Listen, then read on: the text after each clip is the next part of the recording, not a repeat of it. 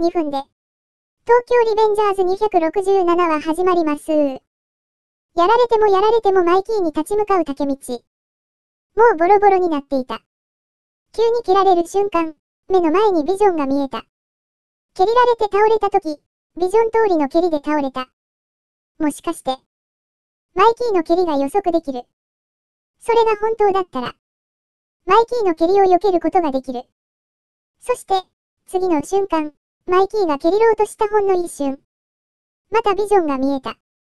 そのビジョンで、マイキーの蹴りを避けることができた。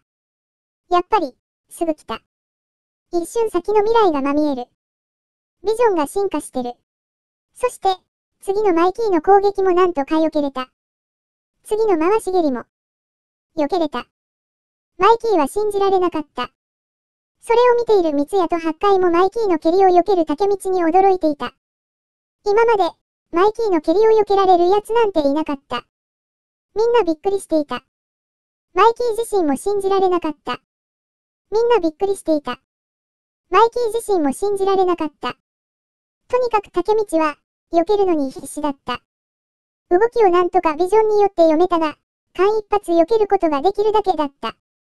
そして、動きの間の隙を伺っていた。そして、マイキーの攻撃と攻撃の間の隙をついて、拳を出した。竹道の拳がマイキーの顔面に直撃した。一撃がマイキーに。マイキーは倒れたが、